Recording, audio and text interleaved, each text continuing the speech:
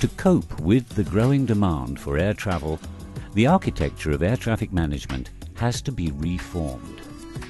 And this concerns all types of users. Most commercial traffic operations are on air routes from point A to point B.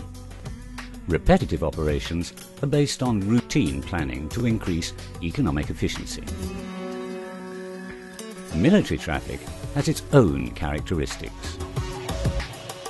Route and airspace use are tailored to the objectives of the missions. The planning cycle depends on the nature of the missions. A part of the military missions cannot be planned a long time ahead.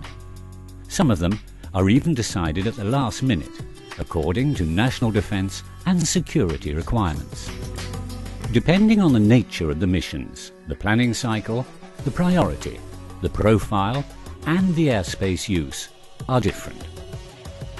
Air policing, air refueling, air transport, pilot training flights, unmanned aerial vehicles and systems, search and rescue flights, etc.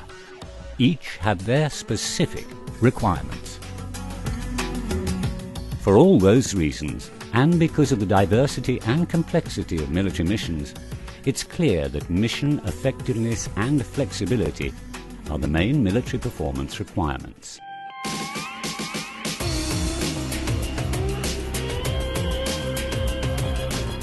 The SESAR concept is based on trajectory management, collaboration and information sharing through new technologies. SESAR will enable all users to better share the airspace. Flexible and efficient use of airspace will allow each and every user to perform their flights as efficiently as possible in order to achieve their respective objectives. Central to the SESAR concept is the business trajectory.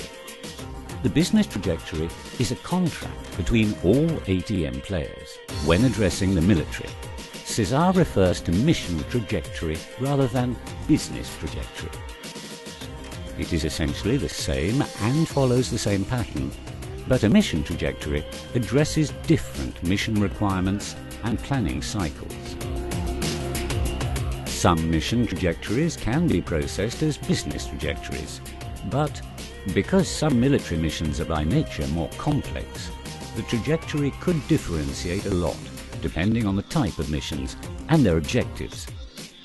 Flexibility is a fundamental requirement to allow unexpected changes in the course of a mission, for instance.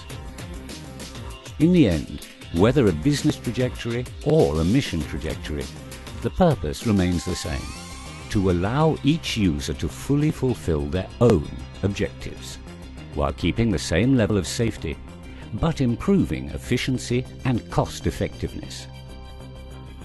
Evolving from airspace management to trajectory management, including airspace reservations process, will bring additional flexibility from which both military and civil operations will benefit. In this future context, continuous information sharing is a fundamental factor.